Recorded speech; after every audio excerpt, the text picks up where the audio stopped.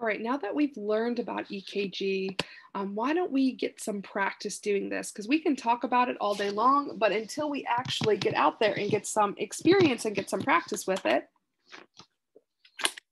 it is hard to follow. So let's break down these simple strips step by step.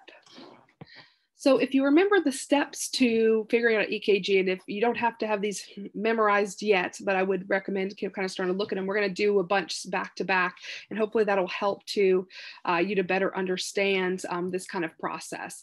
But we start by counting the rate. We want to see is it slow or fast. That's going to help to identify what is this rhythm, and we're going to count the QRS. And again, we're going to get practice with this. So if you don't know how to do this, don't worry. We're going to do it soon.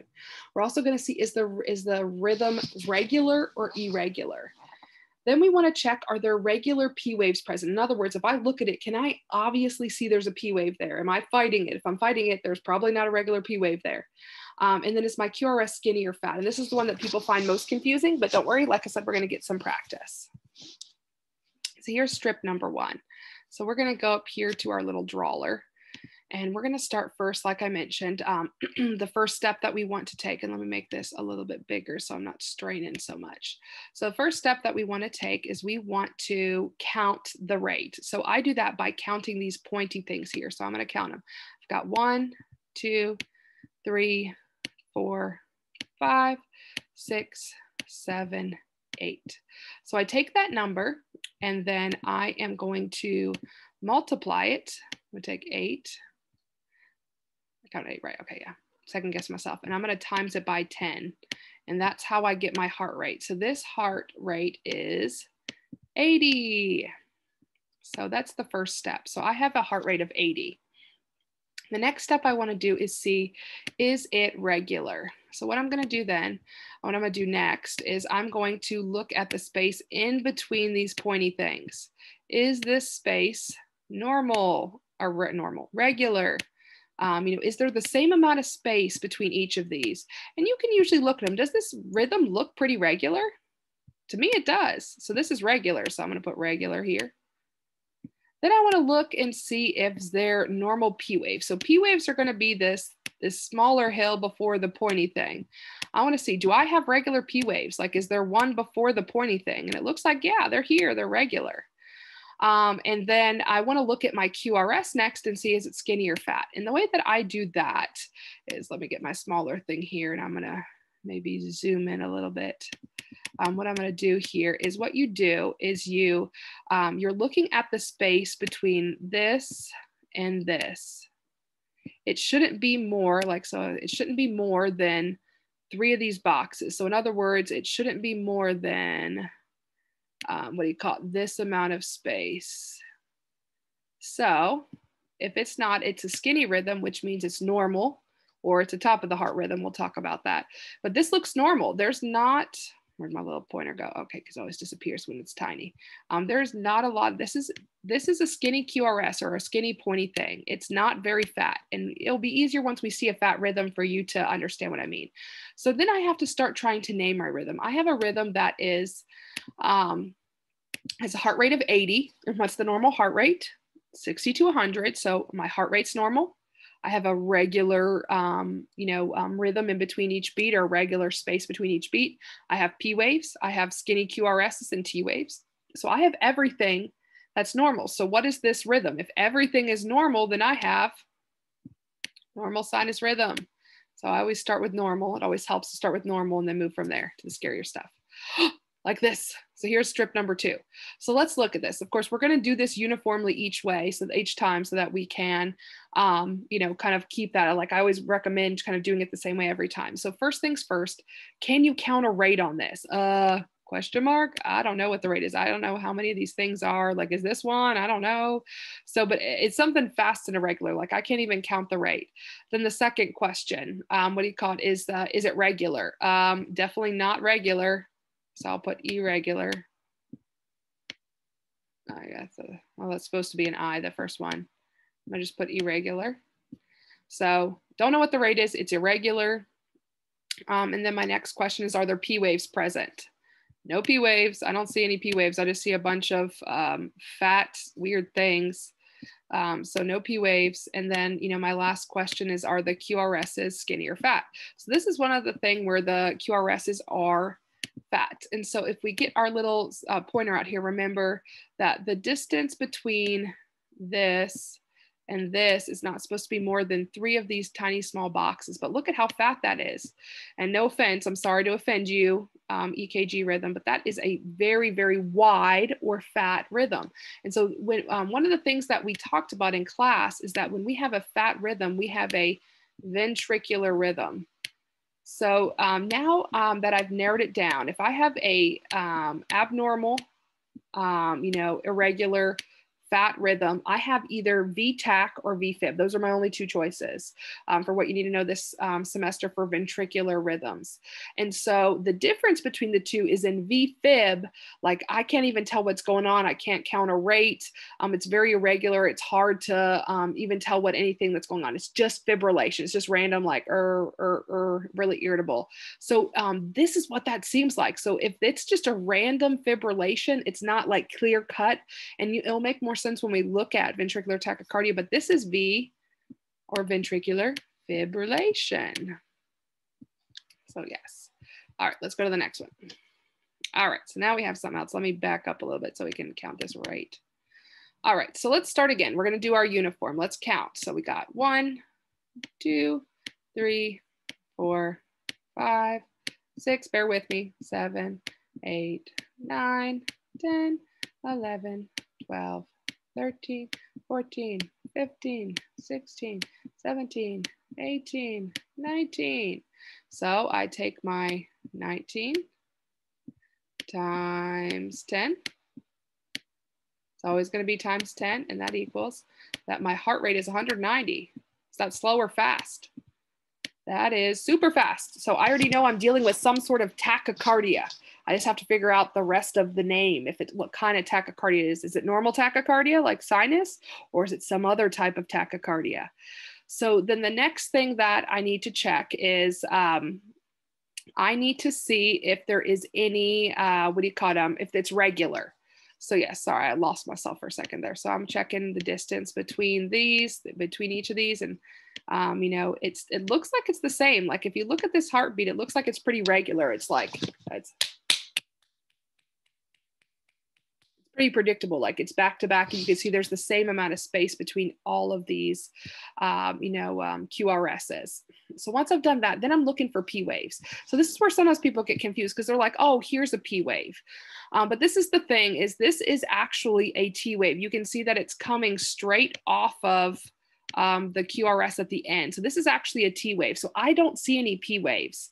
So if you remember, we talked about that um, when there's a top of the heart or an atrial rhythm, I'm going to have, um, you know, uh, P waves that are missing or P waves that are strange or weird or fibrillatory. And so if you look at this one, what we have here is we have an issue. It looks like we're probably going to have an atrial problem. I can also confirm that by answering our last question. So remember, I need to figure out if, if my QRS is fat or skinny. So if I get my little pointer out here and we can zoom in a little bit, if I get my pointer out here, I am looking at the distance between this and this. And again, that's not very far. That's like one small box, one to two small boxes. I don't want it to be more than three. So I have a skinny QRS. I have a fast rhythm I'm just getting back to my fat pen. Um, so I have a fast rhythm. It looks like it's the top of the heart rhythm. Um, I cannot see any P waves and it's regular. So if you have a rhythm that's regular, fast, and skinny, when I say fast, I mean greater than a rate of 150. What you have is supra ventricular. All right, I'm gonna just do supravent and I always tell people it's, it has ventricular because supra means above, supraventricular tachycardia. And I'm not probably going to write this out because I'm already getting annoyed by this pen. So let's just do tachy. So this is supraventricular tachycardia. It's um, the rate is fast, greater than 150. Um, I have it's regular. In other words, it's the same. That's why it, this is not atrial fibrillation because if this was atrial fibrillation, then um, what do you call it? It would be irregular. But I have a regular heartbeat. You know, it's it's dependable. There's the same amount of space in between, and then um, uh, what do you call it? Um, it has a skinny QRS, so it's regular, um, skinny, and fast, and that's the three things that qualify this as being ventricular uh, supraventricular tachycardia. It is a top of the heart issue. All right, so let's count this one and do this. All right, so now this one will take a little less time. I got one, two, three. So I start with my rate. So I got three beats times 10, and that is going to equal 30. So that's my heart rate. So then the next thing that I'm going to look for is um, the regularities. They're the same amount of space in between all of these. And so from the looks of it, from my two, the two options that I have, it looks like it's the same space between each. So it's 30, and is that high or low? That's low. Remember, 60 to 100 is the normal heart rhythm. And so 30 um, is going to be a low rhythm. And so I'm low, but I'm regular. All right, so that's what I know so far. So let's get the rest of the details. Then I'm going to look here um, and I'm looking to see is there P waves present? Do they look regular? Well, I got one here. I got one here. It looks like I have one here. And so it looks like I do have P waves and they look normal. It's got a little small hill there. Um, and so I got P waves. So that tells me that maybe I have something more normal. So, and then I'm going to look at my QRS. And um, again, it's the size of like two boxes. So it's skinny. So I have something that has normal P waves, normal QRS. There's T wave there. It's regular. The only thing that seems to be off about it is that slow. So if everything is normal, but the only thing that's abnormal is that it's a slow rate, then I have sinus bradycardia. So yes. Doo -doo -doo. All righty. All right. Hopefully this is getting easier as we're doing this. If it's getting worse, then just turn me off and go watch something else. Um, or maybe go read a little bit more or do something else. But let's keep doing these. All right, so now we are going to um, uh, what do you call it? Um, uh, count this one. We're gonna start with counting the rate. We got one, two, three, four, five, six, seven, eight, nine, 10, 11, 12, 13, 14, 15, 16. So we've got um, a rhythm that has 16. We're going to times it by 10. 16 QRSs times 10, which means my heart rate is 160.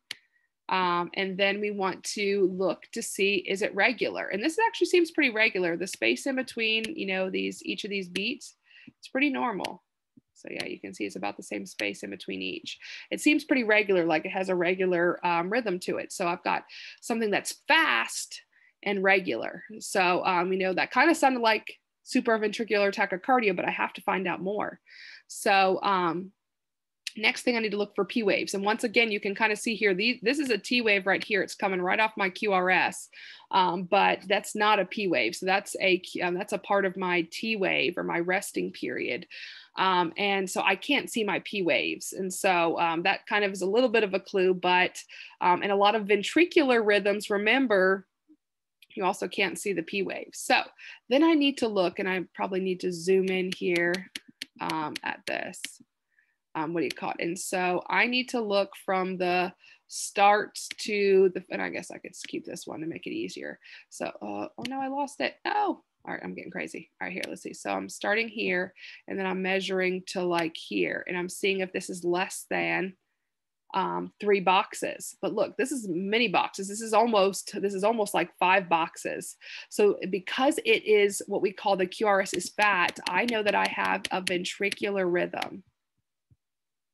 So I have some sort of oh come on you ventricular rhythm because my QRS is fat. So let's kind of break it down. So I have a rhythm that's regular, fast with a fat QRS. So I have a fast, regular ventricular rhythm. And so this is what we call ventricular tachycardia. So remember that ventricular fibrillation, how it was really chaotic and you just couldn't depend on it. Um, ventricular tachycardia is much more organized. It's regular. It's really fast. That doesn't don't that doesn't mean that it can't still be deadly or that it doesn't that the patient's getting great cardiac output. Um, but it's fast and it's more regular um, and then still has that fat QRS. I can count the rate here. Remember, in ventricular fibrillation, I just can't count the rate. I maybe can try, but it's not going to be pretty. I can't guarantee, like, I know exactly where the QRS is here or in this rhythm. I couldn't tell for ventricular fibrillation. All right, next one. So let's first count the rate. One, two, three, four, five, six, seven. So that's seven times 10, and that is 70. So my heart rate is 70 beats per minute. Is that normal? It is. So I have a normal heart rate. So let's see if other things are normal. So let's check the regularity. Let's check the space in between these. And the space between all these is actually looking pretty normal.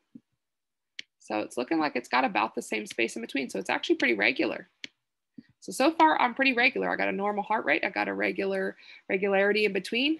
Um, but now let's look at the P waves. There is way too many waves here. There should only be a T wave and then a P wave. And they actually usually look different. Like usually you can tell the difference between them. They shouldn't look the same. All these things look the same. So if I have a bunch of things that look like a P wave, this is what we call Oh, actually, let, me let me finish first. I'm not going to get into what it actually is first, but all I can tell you here is there's something not right with the P waves. They seem to be doing like this um, this very strange up and down motion. Ah, I'm sorry, I suck at this. Um, so um, they're, uh, you know, kind of these crazy sawtooths, as we like to call them. Hint, hint. Um, and so then my last thing, because I always like to be uniform, I like to go through every measure, even if it's like, oh, I think I know what this is. Um, so then I'm looking at the space between this QRS and seeing if it's fat or skinny, if I have a top of the heart problem or a bottom of the heart problem. So um, this QRS, it's skinny. So I have a top of the heart problem. So I have a skinny QRS. It's actually regular. It has a normal heart rate. The only thing that seems to be off is there is a whole bunch of these pointy P waves. Um, you're never going to have that many T waves. It's not possible. So the only option is if I have a bunch of extra, you know, pointy things, there are a bunch of P waves. So when I have um, a rhythm that's regular but has too many P waves or a bunch of sharp, uh, sharp tooth or sawtooth, um, you know, P waves in it, this is what we call a flutter. And it'll make a lot more sense how AFib is different when we go through it, but this is a flutter. It is fluttering your heart just looking at it, isn't it? I know it is for me. All right, so let's look at this one. So we got one, two, three, four, five, six. So do six times 10, because this one doesn't count. We'll talk about what this one is here in a second.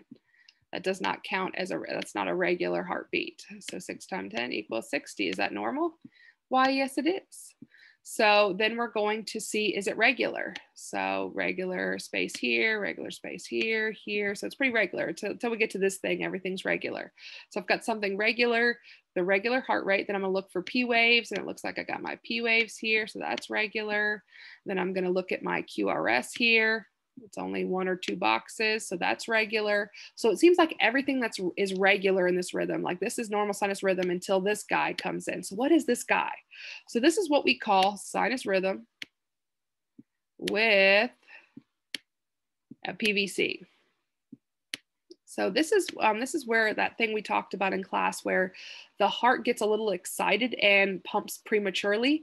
Um, and so it kind of like, you know, it kind of, um, you know, equated it to like flushing the toilet too early. Your toilet hasn't fully refilled and you're already trying to flush the toilet again. And that's what happens with the heart sometimes is you have these abnormal rhythms. They're really not harmful when they're occasional um, or if they're, um, you know, just one at a time, but they start to get worrisome if you're having them frequently or if they're coming back to back in a row. Um, so effectively when it comes to this, I just, um, I'm going to just kind of keep an eye eye on this. But a lot of times when they have this, you just have to keep in mind that they're not perfusing or getting blood out with this beat. This is not a regular beat. So that's why we don't want a lot of them. If they happen occasionally, it's okay. I can let my heart get away with it, but I don't want a lot of them. All right, so this is a different type of rhythm. Um, what's my rate? Uh, nothing. Huh? Uh, what is my regularity? Uh, uh, uh nothing. Uh, how are my P waves doing? Up, up, up, nothing. And how are my QRSs? Oh, there's none. So I have a flat line. So what do I have here? I have asystole. probably the easiest one. I know y'all are hoping, be like, please let the only rhythm on the test be asystole. Please, Jesus. All right, let's go to the next one. All right, so let's look at this one. So let's count first. We got one, two, three, four, five, six, seven, eight, nine, 10, 11, 12, 13, 14. So I have a rate of 14.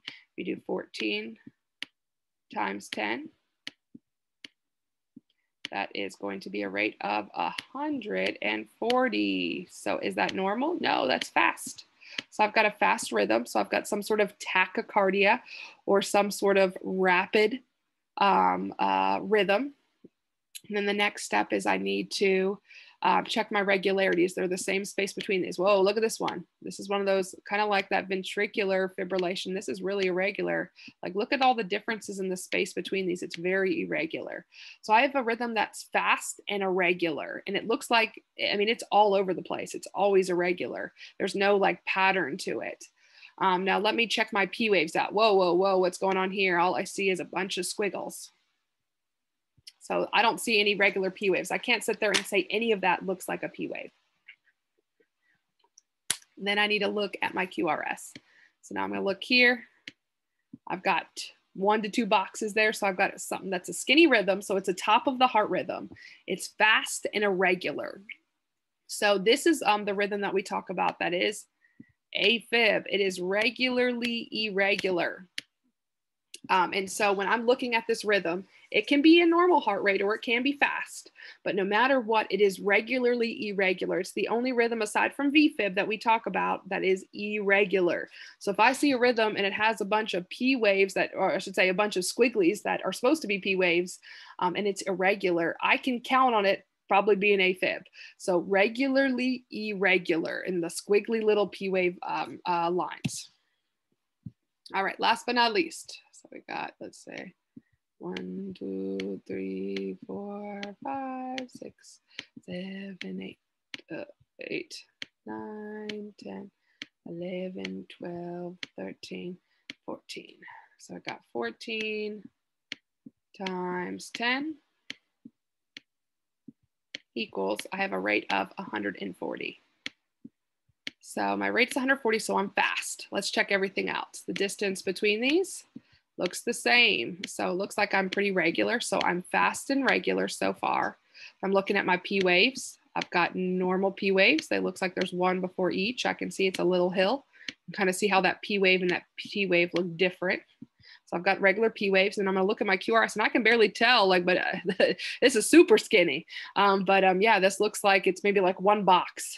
so yeah, so this is definitely, um, it looks like it's fast skinny, and, um, and regular. So wouldn't this be supraventricular tachycardia? Hmm, actually not. So one of the other things that um, differentiates supraventricular tachycardia, supraventricular tachycardia from this, which is sinus tachycardia, this is what we call ST or sinus tachycardia, um, is that what is my rate? If my rate is greater than 150, it is supraventricular tachycardia. If my rate is less than 150, it's going to be sinus tachycardia. The other thing is if you remember in supraventricular tachycardia, I could not see my P waves. Here I can see my P waves. They exist. So I'm in a sinus rhythm. Sinus means I have a P wave, a T wave, and a Q, uh, uh, sorry, P wave, a QRS, and a T wave, and they're all regular. They're what they're supposed to be. Um, and so um, that's what makes this sinus. I can see my P waves. My rate is less than 150, but I am um, regular, um, fast, and skinny.